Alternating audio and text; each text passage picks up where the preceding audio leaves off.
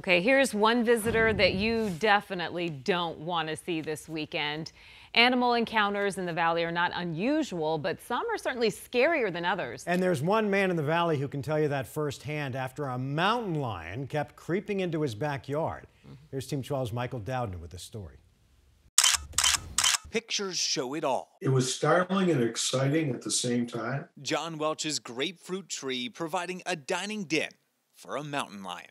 That's the closest I've ever come to that dangerous an animal. The first images of the big cat are from early Monday morning, captured by John's trail camera.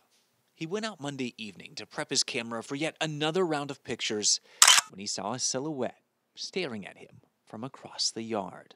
And I see these two yellow, look like flashlights. So John made the safe choice and ran back inside, avoiding his rare dinner guest.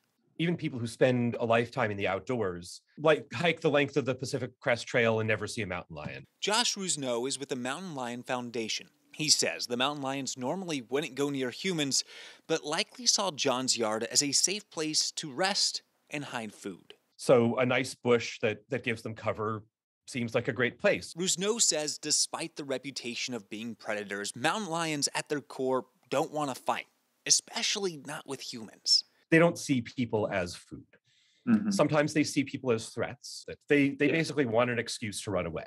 So this week, John Welch removed the remains of the coyote, and since then, the mountain lion hasn't returned. But from now on, he will be watching to see if that big cat returns.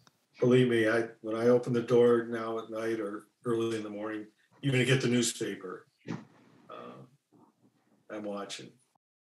John Welch says it's a moment he will never forget. He does have those photos that will last a lifetime. Also, the Mountain Lion Foundation says that this may start to happen more and more frequently as more people move into mountain lion territory.